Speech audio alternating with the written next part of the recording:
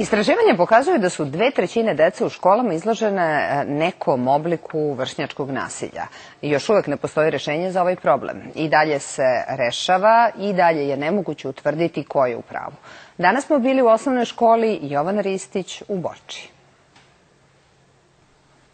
Ako je u početku i bilo reči o dečim nestašlucima, za godinu dana, prema rečima zabrinutih roditelja, prerasli su u nasilje nad celim razredom, pa čak i učiteljicu. To je udaranje, guranje, e, šutiranje, gađanje kamenjem, e, a na stranu, na to smo već i oguglali, cepanje knjiga, svezaka, lomljenje olovaka, naočara, to je svakodnevni problem. Konkretno moje dete je pogođeno kamenom ovoga puta prethodni događaji nisu prijavljivani nadležnim službama. Moje dete je završilo sa kolima hitne pomoći iz ove škole u Institutu za majku i dete. Obraćali su se upravi škole, direktoru, kako kažu, niko nije reagovao, pa su sami prijavili problem policiji.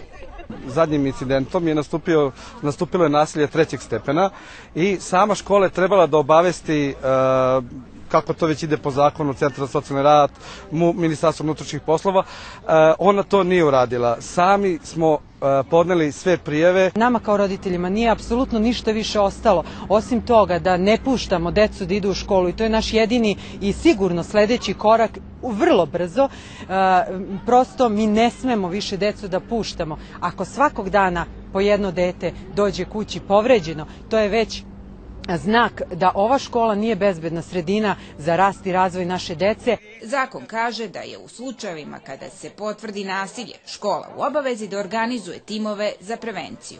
Pojačani nadzor i rad sa učenikom, e, naravno uključuju se i roditelji i uključuju se eventualno nadležne službe kao što je služba za socijalni rad ukoliko se proceni da ima potrebe, ali ja moram da kažem da vrlo često e, saradnja roditelja nije na zadovoljavajućem nivou.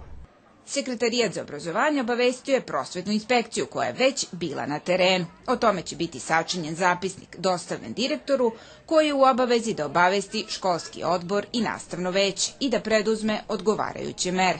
Istraživanja pokazuju da je 65% učenika barem jednom bilo izloženo nekom obliku agresivnog ponašanja i da u prosjeku svaki četvrti đak u toku školovanja više puta trpi maltretiranje drugara iz klupa. I čini se nekako da nikada baš ne dobijemo pravi odgovor na ovu temu, pa ćemo najverovatnije i narednih dana u emisijama Beogradske hronike ponovo pričati o tome.